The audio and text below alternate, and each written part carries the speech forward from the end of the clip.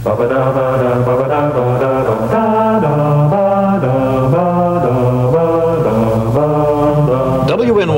TV presents About the Arts with Barbaralee Diamonstein. Our guest today is John V. Lindsay, whose past, present, and future remain an endless source of fascination and speculation to all New Yorkers. Today, however, we're going to focus on his present. And because of the focus of this program, in particular, your interest and concern with the arts. Why don't we begin at the beginning, and that is, I guess, along about the early 1960s when you were a congressman in Washington and a very early signatory to the legislation that helped form what is now the National Endowment for the Arts. It's come a long way, not only in terms of its uh, scope and direction, but its funding as well. From less than $2 million, it, the Carter administration has applied for a $150 million budget for the next year for that endowment. Did you ever conceive of such a multiplying rate for this agency? What did you envision when you were a sponsor of that? Well, uh, Barbaralee, when, the, when I first introduced the bill, and I was working with uh, Frank Thompson, Congressman Frank Thompson from New Jersey on the matter. It was just the two of us at that time. Nobody else uh, had much interest. And uh, we, we first did not think the bill would ever go through the Congress. And ultimately, we achieved its passage. It took quite a while. But we're going back now to the early 60s. Um, 1963 we, uh, and 4. Yes. And uh, one reason it went through was that we did have the support of the then administration in Washington. They finally endorsed the bill, and I'm not sure it would have made it otherwise. But we, none of us, neither uh, Frank uh, nor I, um, could believe then that it would be possible that we'd now be in, in, in, the, in the shape that we're in, with a government that really does care about the arts, that uh, the requested appropriations are that large, and that it is really doing some good around the nation. What direction would you like to see it take, the NEA, the NEH, the Museum Services Institute, this growing federal bureaucracy? Always a danger, Barbaralee. And uh, every time you every time you set up an instrument, uh, an instrumentality in Washington or any other government, you run the risk of creating a uh, some kind of a bureaucracy with which it's going to be increasingly difficult to deal. I think that in respect of the National Endowment, although it is it has uh, been subject to some of that kind of thing that because it's had generally good management uh, it's been more free of it than have a lot of other bureaucracies in Washington, freer than the post office, freer than regulatory agencies and all the rest. Um, I don't know why it is that we Americans are so bad at these things, that the administration of it. The British are so much better at it. Well, maybe they have a and longer even, tradition, and even the more French, experience. Even the French are better at it than, than we are in respect of, of the um, of the uh, nonsense that we set up that is an impediment to decision making and everything else. I I do think that for a while uh, the endowment in Washington became subject to too much pressure from too many little groups and too many congressional special interests so that every congressman from around the nation was putting pressure on for, for uh, uh, funding for uh, institutions in their own districts that were not ready for funding.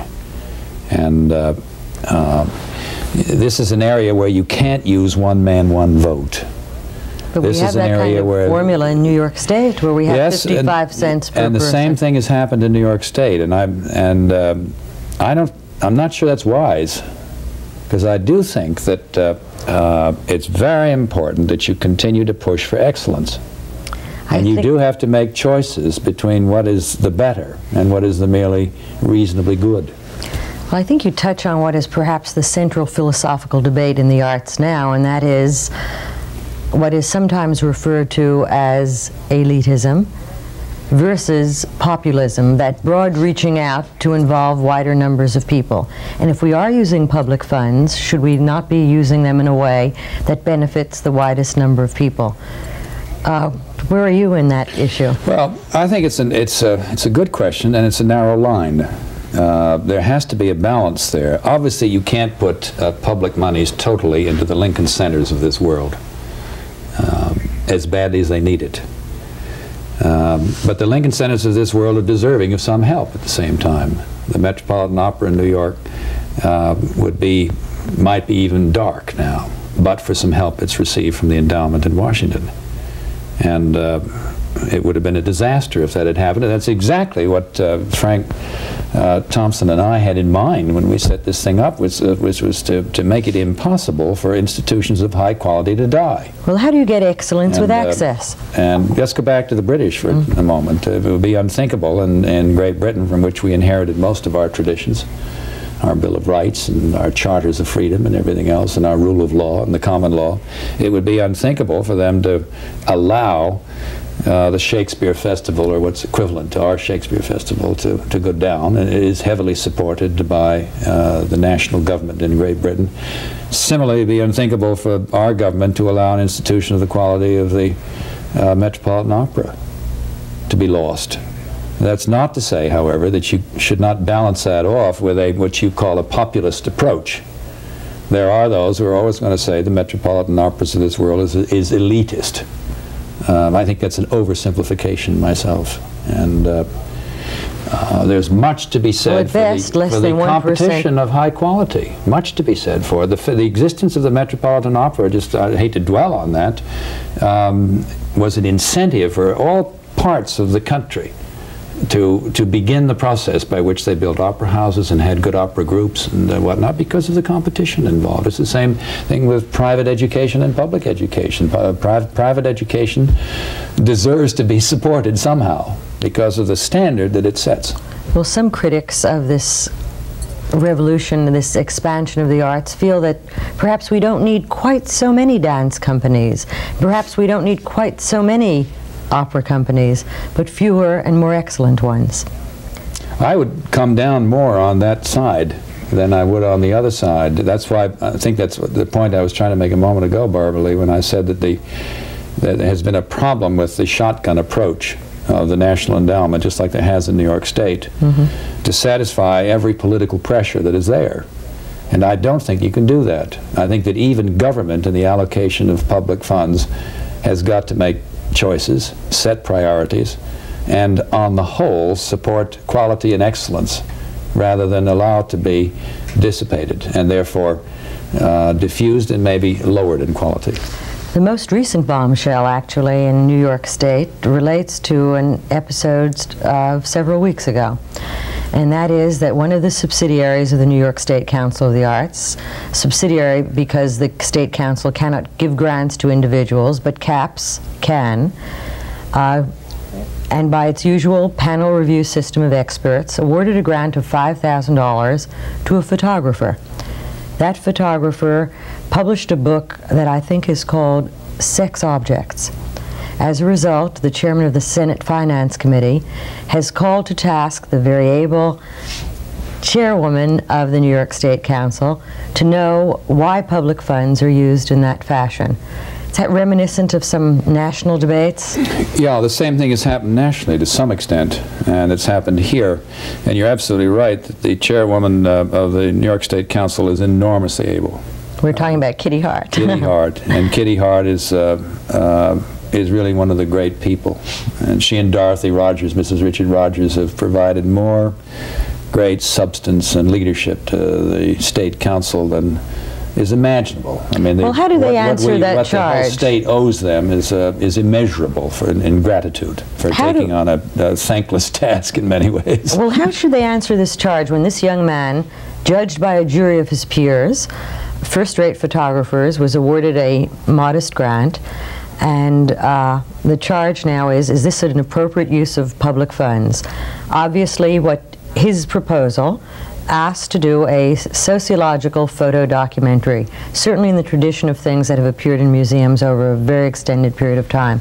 Do you see an increasing danger with anything like that when you have that much money, when the state now gives $27 million, about, it is to be hoped to be increased to $34 million, this whole specter of censorship?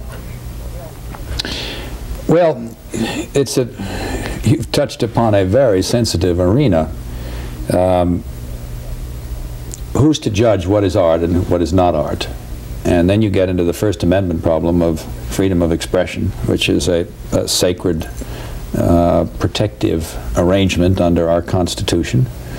Uh, but, but at the same token, um, you have to understand that the public is not going to support, and there will be a there will be a reaction to it that could be very counterproductive in the long run. Is not going to support um, the use of taxpayers' dollars in something that they perceive to be less than quality. If it's perceived to be pornography uh, or in bad taste, um, violence or bloodshed uh, or uh, excessive nudity or whatever you wish to call it, they're not going to support it. And uh, whether those well, how does one nurture those, creative freedom? Well, those those in charge of mm -hmm. of uh, the handling of public money have got to be very sensitive to this, because um, uh, you are going to you're going to kill creative freedom if you if you cause something to be done which causes public outrage. You're not going to win. And I think that those who are in a fiduciary public responsibility in the handling of public funds have got to be very careful and very sensitive to that point. Um, otherwise, you're going to kill the goose. Actually, I think every in every administration, every uh, chairperson or executive director of that agency has been very sensitive. One can yeah. only hope that uh, in this instance, it will be just a minor skirmish soon yeah, to be forgotten. Well, they have been. Kitty Hart has been enormously sensitive to this problem, I know, as uh, with Mrs. Richard Rodgers and mm. various other people who have been connected with the council. But they, they're unsalaried. They do this as a contribution. Um, they cannot be aware of every single grant that happens. But it, it was a first-rate grant. There, there is going to be mm -hmm. something that mm -hmm. is going to escape their immediate full focus and attention. And that's where you get into trouble when this kind of thing happens. And this may have been, I don't know the merits or demerits of this. This is the first I've heard about it, in fact. I didn't know that there was a controversy over this, and I've been traveling a lot. I may have missed the press well, if, hope, there, if, there, was any. I hope it is but, a thing of the past before we know it.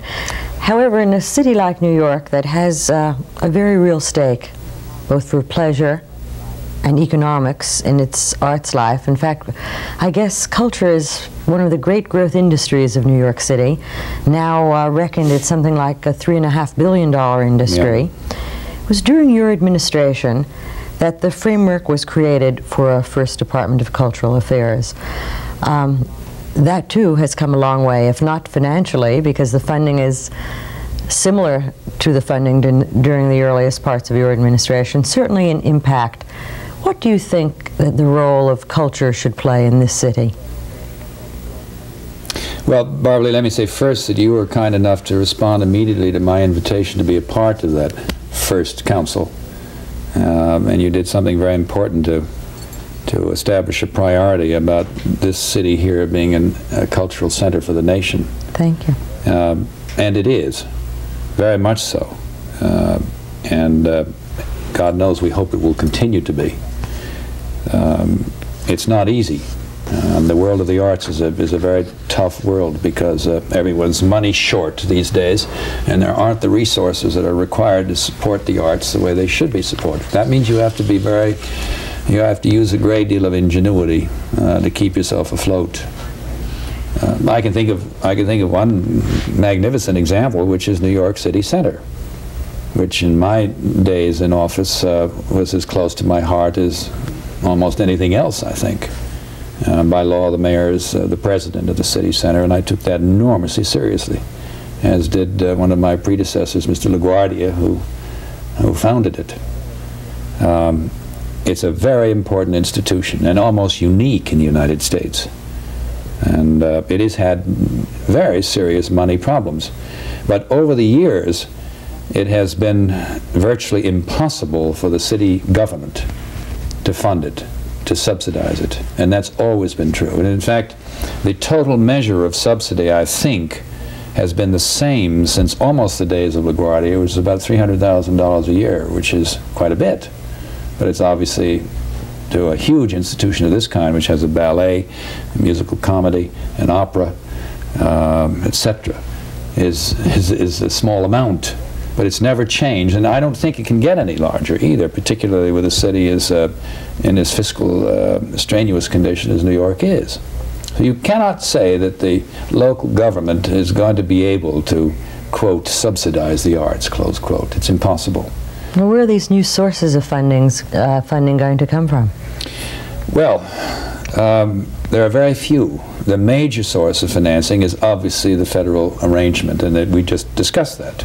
Uh, and the uh, multiplication of the amount has been very large indeed, and New York City has been in part a beneficiary of that. And we just mentioned the opera for one thing. There have been the state has been helpful too. There have been uh, suggestions for new sources of funding. For example, airport taxes, hotel taxes, taxes on television sets each of which would bring enormous revenue to the cultural life of this city. Do you approve of any of them, or do you have any agree. other?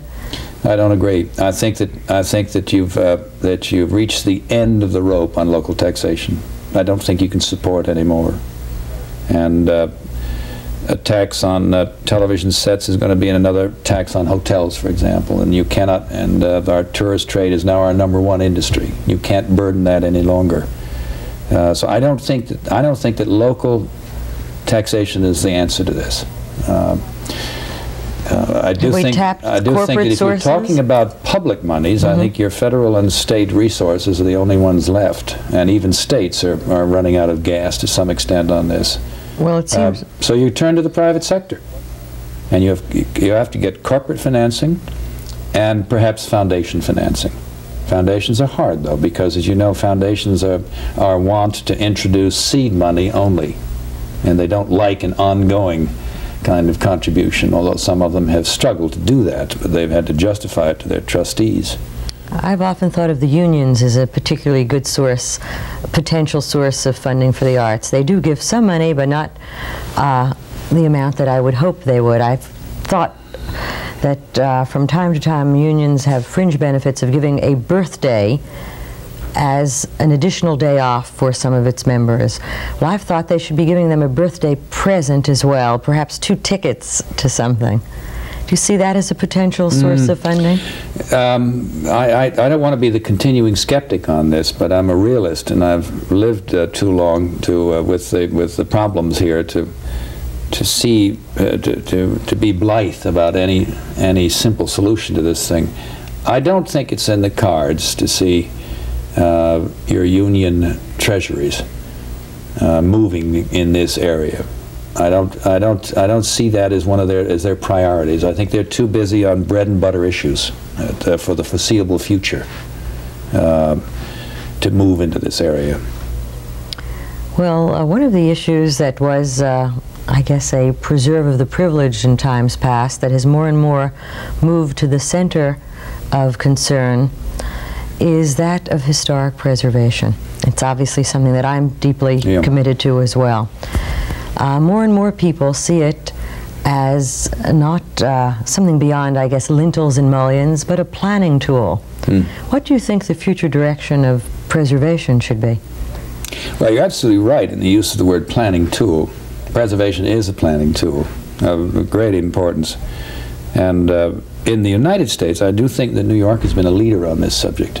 In the years that I was in office here, not Washington, um, we were able to change the arrangements and strategy under which you had um, the designation of preservation areas uh, broadened from a one-shot arrangement to a building to a whole block. Historic districts uh, a whole well. district, in fact, mm -hmm. a whole community.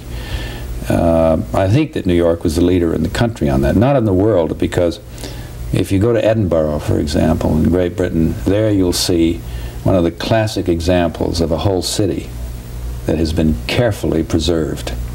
You will not see a corruption of its architecture or design, an invasion of any kind and whatnot. It is, it's a magnificent example of what can be done to preserve a, a great, uh, shall I call it, medieval city uh, in its almost original state. Would that be appropriate for a contemporary city? Hard to do in the uh, in the high voltage atmosphere of, uh, of the United States, and it's uh, Houston's and Dallas's and Tulsas and all the rest of it, with their, their, their wish for magnificent glass skylines and all the rest of it, and for growth. Very difficult to do under the, under the pressures for growth in the United States. Hard to do. Uh, it's really easier in your older communities like Boston and New York and uh, um, Philadelphia and places Charleston of and. Savannah. Charleston. Charleston's done quite an interesting job on this. It's almost easier in these older areas than it is in the in the nouveau areas. the Well, how about those people who would like to country. preserve parts of Park and Madison and Fifth Avenue? That's not too easy to do. Not easy to do. Very, very difficult to do. And of course, one of the uh, most controversial um developments that ever took place on Park Avenue, just to mention that, of course, was the, the building of the Pan Am building, long before I was in office here. Um, and something that was, as you know, widely controversial as to what it was doing to the, the vistas along that particular part of the city. Well, it's an issue in some measure that still goes on with the Grand Central case that has Grand Central case yet to be it's still resolved. there to be resolved. Some very interesting and important work has been done in uh, in Brooklyn, in the Brooklyn Heights area particularly. Park Slope. Yeah, and Fort Park Greene. Slope. Park Slope has been a fascinating uh, Flatbush, yes. experiment in the preservation of brownstones. And uh, that, you're, you're absolutely right, it's a planning tool of great importance. While we're talking about structures, let's talk about Gracie Mansion for a moment. Do you think it's just a symbol, or is it something beyond the mayor's residence? Is it a working office? Should a mayor live there, do you think? It's a, it's a gorgeous and beautiful old building going back to 1801. Was it 1801? I think it was City Hall. I've forgotten. It was eight. Uh, City Hall no, it was- antedates that. Yes, it uh, is 1801, I believe. It was built by Archibald Gracie, a, a very rich Scottish merchant, as his country home. He lived down way downtown in the lower Manhattan area where everybody lived in those days. He had a brownstone. He wended his way up on the water. And he went up on the water for the most part. It was quite an excursion. And that's why Gracie Mansion's front steps faces the water. Because that's how Archibald Gracie entered his country home. And there was a farm. There were cows and sheep and uh, domestic animals of this kind. Uh, it's a lovely old building and very symbolic. And indeed, without Gracie Mansion, that uh, East Side Highway would have been built along the water's edge instead of tunneled under. So you have an advantage right there because uh, you've got the water being preserved as a vista um, and as part of the life of the city.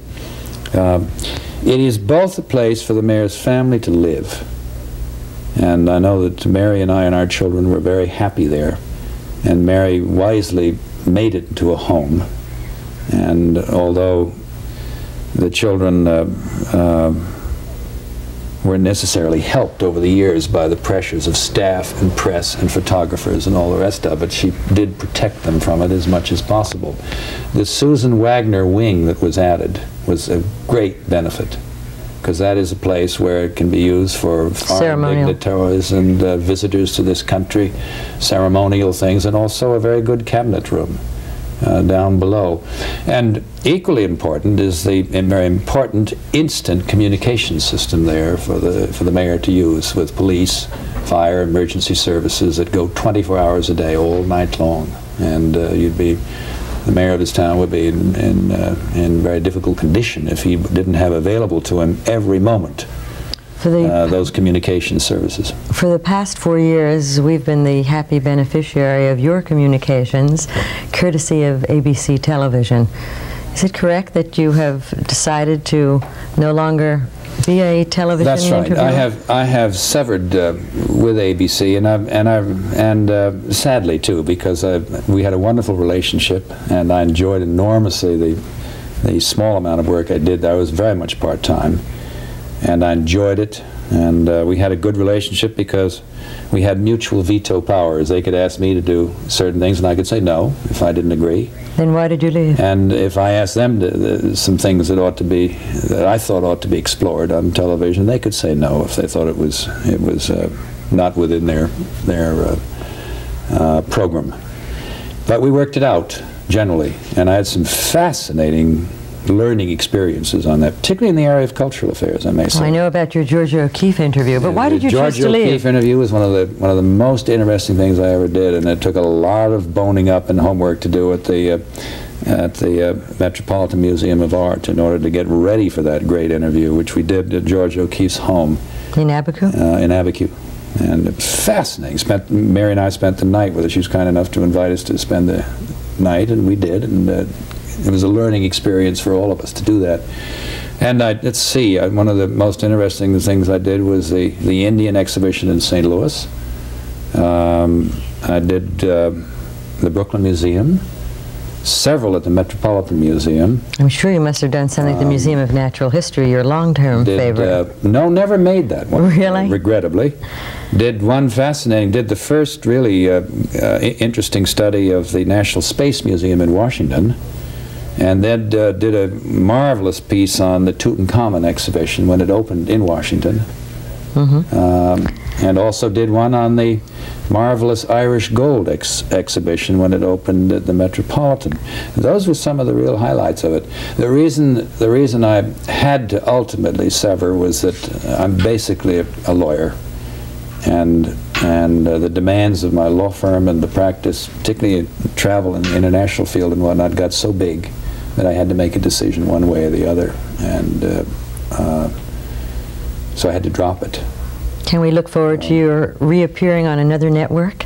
No, no. I've, I've committed myself to the ancient profession of the law, and I don't I certainly wouldn't mind doing uh, what I would call one-shot things of this kind. For example, a mini documentary, uh, something of that nature. But I do not, I cannot, I don't have the time to be committed to an ongoing.